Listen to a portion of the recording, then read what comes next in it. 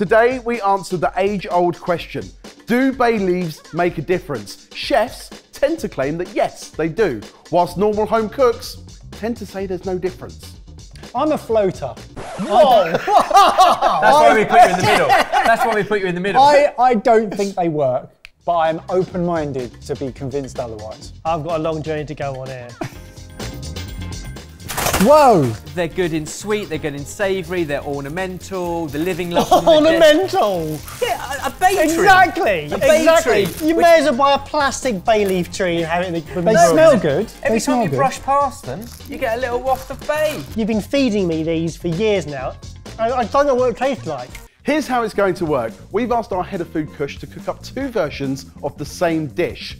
One has bay leaves added into it, the other has no bay leaves added into it.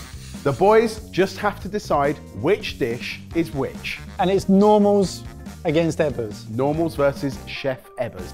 To bay or not to bay, there is no question. You're a bay lever, we are non-bay levers. Boys, lift the cloche on dish one. So in front of you, you have a beef cheek ragu. Have a taste of both. One of them has bay leaves in, one doesn't. What I need you to do is write down where's the bay leaf. Okay, I'm going to start with A. this smells incredible. It's got that wonderful tomato richness with a real sweetness of Wow. veg, so like carrot and onion that's cooked into it. You could suck that beef. It'd disappear. Yeah. When first I went to this test, I thought, this is going to be a stupid test because you're not going to tell the difference. The whole our thing about bay leaves, they taste of nothing. So these two should taste the same. So from our research, we know that bay leaves have a certain tasting profile.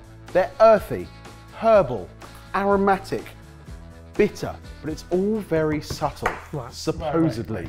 So I've locked in my answer long ago, the moment I tasted so- it. But now these two are worried because they're on team bay leaves don't make a difference. That there is a huge difference. My, my, my concern is I can taste the difference. Yeah, same.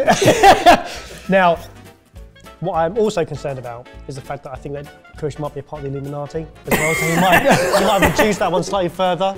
yeah, hundred it taste, percent. yeah, you know what I mean? Yeah. Are you We're saying fighting. Kush has overbayed? I think he, no, I think I think he may have added some sugar or some other thing that definitely has flavour into it. I just loved having a bay tree outside my back door because it meant that whenever I was cooking anything, I just had to open the door, grab, pluck one, two, three, didn't matter, fresh off the tree, scrumple it in your hand. Bay. I don't know now. I'm really confused. Let's Well, uh, confer behind the board. Boys, there's a lot of conferring going on over there. I am going to need an answer. Which dish has the bay? Okay, right. Okay, that makes sense. Their board is I still still think I blank. prefer that one. On the count of three, tell me where's the bay? One, two, three. In the B. In the B. Bay in the B. I can confirm that the bay is in the B. And I'd also like to point out it's the one that's had most eaten because it's also the preferred, and when you cook with bay, it's better. Barry prefers A. I think B tastes more balanced. I think A tasted more Tangy. Um, tangy. Yeah, I, I More like. tomato, more Yeah. sweet, which was the first comment when I tasted. That tastes like savoury, umami, delicious. Oh, he's going overboard. It doesn't taste that much different. So one of the things, Ben, you always say about bay is, oh, I can't tell you really what it adds. It's just you know when it's not there, not that it adds something specific. Again, I don't know if I've ever sat side by side with two dishes and made this comparison. But you can always tell when the dish isn't there. It, it just it needs that roundness. When you're cooking by recipe and you buy the ingredients, it says add one bay leaf, but you have to buy either a, a whole bag or in some cases a whole flipping tree. It's not have the worth the, tree. cost for that much difference so far. Is the difference worth an entire packet of bay leaves to purchase? Possibly not. However, buy a packet of bay leaves and put them in the freezer so they remain frozen, fresh green. Even if it's been frozen, then you can always have them to hand. Or if you have got a tree or access to a tree, then it, it's free bay. It's, mate, it, this is getting tense in round one. Yeah. Well, you both found the bay in that dish. Shall we move on to round number two? The most important thing here is we got a point. okay? Is it? Is it? Is that what? Yeah. Right then, boys. Lift the cloche on dish number two. This is poached salmon with citrus.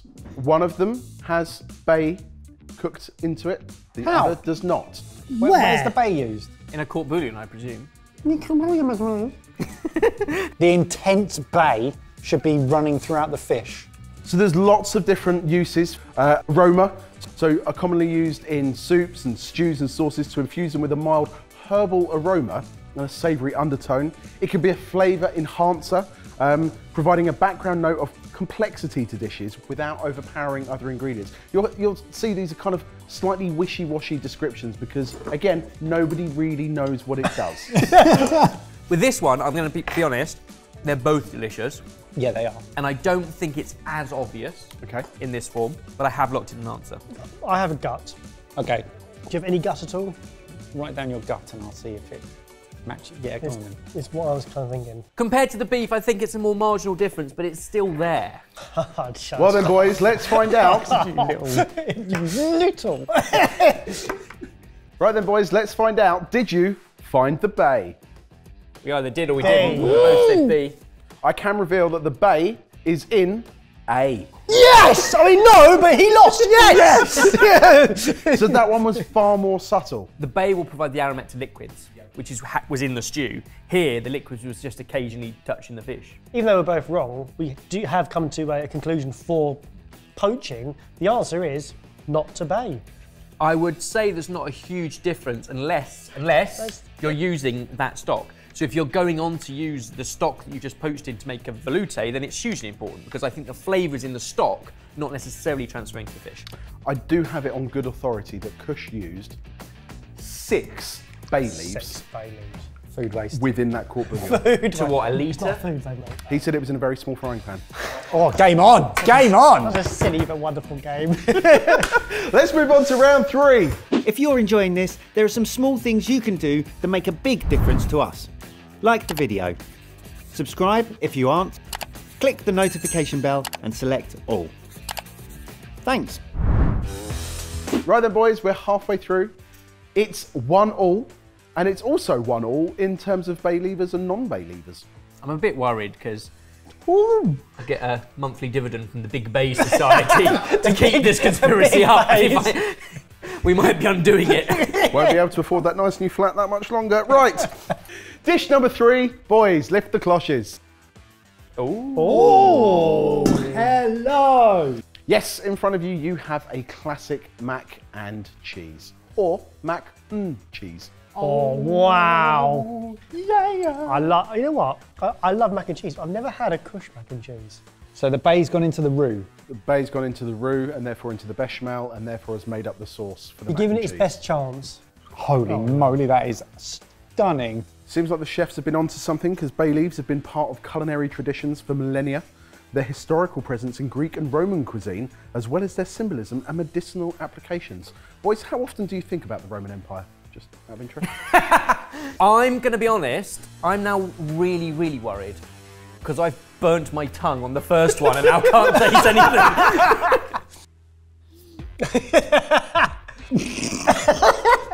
Is there a big difference? There is a difference, yes. It'd be interesting what Ebba says. What, what are you laughing at? Nothing. Barry just wrote me a message on the whiteboard. it's really funny. I am going to have to ask you to stop eating the mac and cheeses so we No! can reveal whether you found the bay. I think there is a difference in this one, and I Yeah. think it's quite substantial. I agree. And I have never really thought about Bay this hard, but I'm now hard thinking about Bay.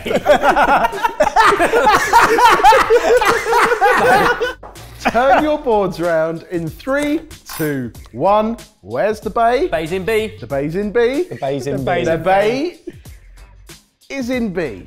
I'm beginning to wonder, not something I thought about before, I wonder if the aromats that make Bay so delicious and savoury and warm and, and herbal and botanical are fat soluble. I thought A tasted more cheesy. Yeah. Mostly cheese, and suddenly in there, if that was like, one dimensional and that was delicious because it had more. Barry, do you want to tell everyone how we worked out that um, the bay was in B? I saw some bay in B. What? That was a- Did you pick yeah, it out? I got- As I put it in my mouth first time round, it was too hot. It fell out my mouth. I just saw a bay leaf. Do that. I was like, oh, there you go. But okay, so so you actually cheated, which means we- we can your point is null and void. No, However, no, we, we still was gave a the difference in taste? Yeah, so that's it made us it made a substantial difference. I agree. Slightly more cheesy. I'm not sure it tastes like licking the earth as you're describing, but it's I'm in the middle. Right then, well, we've got one more round for you, and it's time for some dessert. Oh, woo! Brilliant. So whilst the chefs and normals are even on score, the Bay levers are 2-1 up. Lift the cloche on the final round. Three, two, one. Ooh, a bay leaf panna cotta. Oh, Kush, you've oh. you've outdone yourself. Excellent wobble. Look at that. Ebbers, you could do your jiggle jiggle rap that you made so famous on the internet.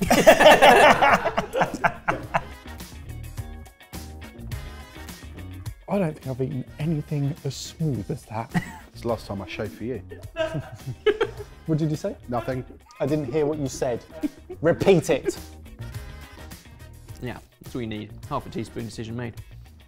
Absolutely, absolutely incredible. Sorry. It's massive. Puddings is massive. In the world of uh, ancient Greek and Roman mythology, bay leaves were closely linked to Apollo, representing victory and honour through laurel wreaths crafted from these leaves. They're also associated a lot with death and taking bay leaves to the grave with you. Even though I think I can taste the difference, I could I I wouldn't be comfortable calling one of them a bay leaf panna because I still don't know what bay tastes like. Agreed. A little something. know, it is, I know. It is, is a warming, botanical, savoury. I would describe it as a rounding. It's like a big blanket around you. I have to kind of agree that it's just a something that brings everything together. Mm. On this one, it's pulled back the sweetness as well a little bit. And if you're a sweet person, it's just ruined the dessert, if you ask me. It sounds like you both know where this is going, but turn round your boards in three, two, one. Bay in the A. You both found the bay. And it is such a is um, elegant flavour. I can imagine actually when you do something like a bay leaf panna cotta or a bay leaf ice cream, it just adds an elegance and a sophistication to a dish, both as you read it and then as you eat it. At home, the chances of me getting to a dish that tastes that good pre-bay on is a challenge. But what But as the- a normal home cook, there's no skill to throwing in two bay leaves. I know, We've- that's we've, my We've proven problem. that it's just made it better on three out of four occasions. Baz, I think that's the thing. What if Bay can make it better without any more skill? Well, we've done the test, and in terms of finding the Bay, the scores are completely even. You found the Bay three out of four times. However, three out of four times, you all agreed that the Bay did make a difference. Baz, Mike, are we now calling you Bay Leavers? I'm gonna have to say yes for me. I don't know if I can say it. I feel disgusting. I feel like a dirty little rascal. The good thing is, the older we get and the more sort of open-eyed and eared we become in this wider world, we're allowed to change our views when we realise we had it wrong Ebbers, before. shut up. Ebbers, Ebbers, I can't believe I'm going to say this, but don't stop bay leafing. Can we add some caveats though? Because I feel like wherever I've used bay leaves before at home, they've been dried and I can't tell any difference. Yeah, in those they're there. little plastic cylinders. Yeah. But if we're getting fresh bay leaves or freezing fresh bay leaves, that feels like where the biggest difference can be made. And I would say in things that you have fat involved.